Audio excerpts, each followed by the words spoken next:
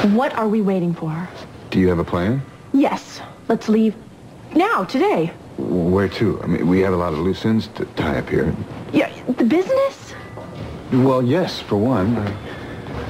Robert, you are the business. I mean, it, it doesn't exist without you. You can start over wherever you want. Have Renfield pack up your computers and come with us. And have someone sail the boat to wherever we go. How many people have a life in a business as portable as yours? Well, you have a point there, I guess. Uh, Robert, it'll be an adventure. We will go and start fresh. Why do we want to endure some glitzy, phony wedding that my parents are going to go through the motions as if they're being marched off to the gallows?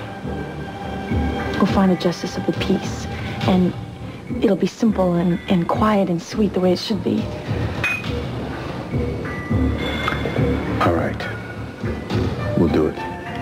Okay, we'll do it today. You just have to give me a couple of hours, all right? Robert, it'll be wonderful. It'll be wonderful. Maybe, maybe this is a blessing in disguise.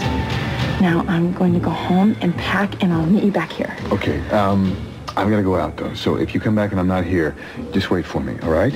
What do you have to do? Well, I've got to go to the bank, you know? Great adventures do cost money. So, Okay, then we'll come back here at 2 o'clock. We'll meet here at 2 o'clock. two o'clock. Okay, that shouldn't be a problem. I love you, Robert. I love you.